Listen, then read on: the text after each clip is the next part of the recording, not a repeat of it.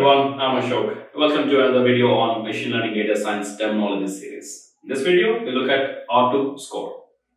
R2 score is one of the popular metrics for regression evaluation. So what is R2 score? Before going into R2 score, let me just show you how uh, we can use R2 score for evaluation. So let's say you have some kind of prediction uh, some kind of y target, let's say you have 1, 2, 3 values, and then your predicted y is 1, 2, 4. Okay, so well, the first two cases, the prediction was uh, correct, it's exactly the same, and the last one had a deviation of 1. Okay, so if you look at the R2 score for this, R2 score is, you can take that implementation from sklearn import R2 score. And you say R2 score y comma y predict is 0.5. What does it mean? Well, let me just look into the formula of R2 score. R2 score is equal to 1 minus SSR by SST. And SSR stands for sum of square of residuals. Residuals are nothing but errors. Okay.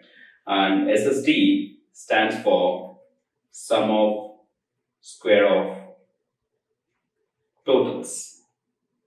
Okay.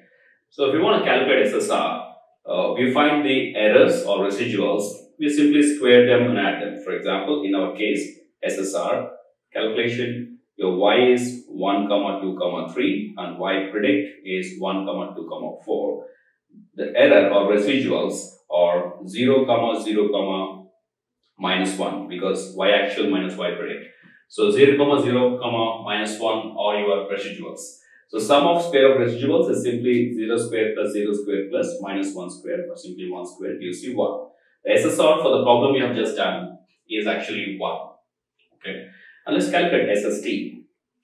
SST is actually deviation of the data from its own center.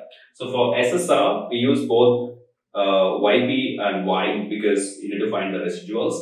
For SST, we simply use your actual values and find the mean of it. The mean of this data is the, the average of this data is actually 2 because 1 plus 2 plus 3 by 3 is 2. And then we'll find the deviations of every single point to its center. So basically 1 minus 2, comma, uh, 2 minus 2, comma, 3 minus 2. Okay, so this becomes minus 1, comma, 0, comma, 1. So this is what we call it as deviation from its center. I mean, even in your calculation of variance and standard deviation, we do the similar. Then we take an average. Here with just a deviation, we square and add them. So 1 square plus 0 square plus 1 square which gives you simply 2. The SSR is 2 and SST, SSR is 1 and SST is 2. So you put it back in the formula 1 minus SSR is 1, SST is uh, 2. It becomes 1 by 2 which is nothing but 0.5 which is the value you have seen over here. So calculation wise is pretty straightforward. So SSR is sum of square of residuals. Residuals are errors, errors between the actual data and the predicted data, the predicted data from your model. And SST is the actual data, the deviation from its own center, and we square and add those deviations. That becomes your SST. So what exactly specifies? Well, it's, it's, it's actually SST is called as mean model. For example, SST is termed as, I would say, SST is also called as mean model. Mean model is a model which is, you know, which is actually uh, towards your mean. For example, if you want to predict anything, uh, let's say you have uh, some marks of a student. For example, one exam, one semester, he got 80% another semester, you got 90%. Um, and then I want to predict for the third semester. So what do you do? typical uh, prediction of anything is mean prediction. You take an average of it. You'll say third semester you get about like 85% around because 80, 90, so approximately about 85%. So that's that's that's how you predict. For any prediction, mean prediction is a base. So mean prediction uses a reference. Um, so that's also called as mean model. So SST is nothing but uh, error of your mean prediction. So mean model, what we call. And what we are trying to do, we're comparing the machine learning model which has predicted with the mean model. Okay, and that's the ratio where we say SSR by SST. SSR is representing a machine learning model error score, and SST is represent, representing a mean model score, error score of the mean model. And we take a ratio of it, and 1 minus that ratio gives you R2 score, and which is a kind of indication that how better your model is when compared to the mean model. All right. So if if um,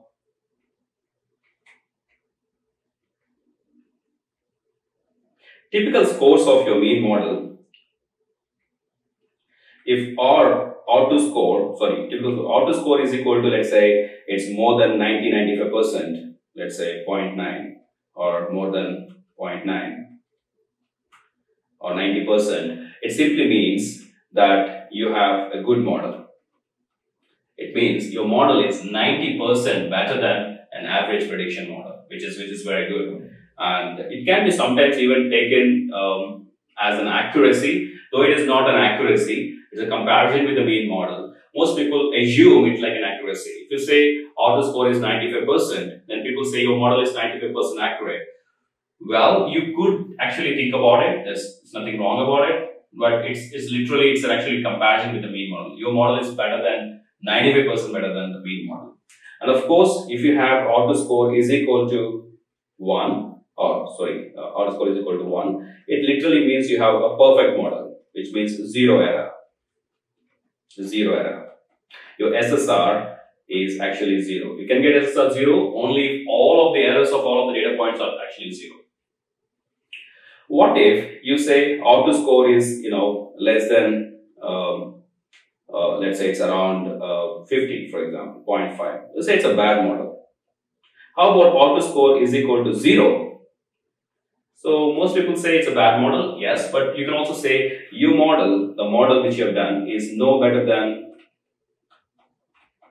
mean model. So because SSR and SST are exactly same and that's how, that's when when we get, if you look at the formula, is 1 minus SSR by SST 1 minus SSR by SST.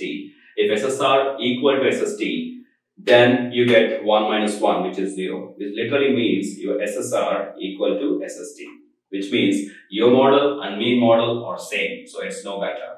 So of course it's a bad model, but it's, it's, it's just like your mean model. So mean model does not have any, you know, Jazzy algorithms or any prediction, simple mean.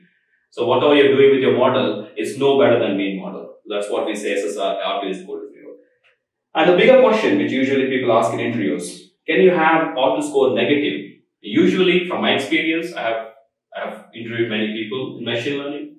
They say, no, no, no, it cannot be because it's an accuracy. You know, how can I get a negative accuracy? So there is no point. Lot, lot of people think that R2 score range is 0 to 1. But it's not true. R2 score can be negative because um, your SSR can be actually much higher than your SST. Possible. Alright. Let's take an example. Let's say the same example I'm going to do here. I'll put 5 here, for example. Okay. Then I write the same R2 score. So you get minus 1.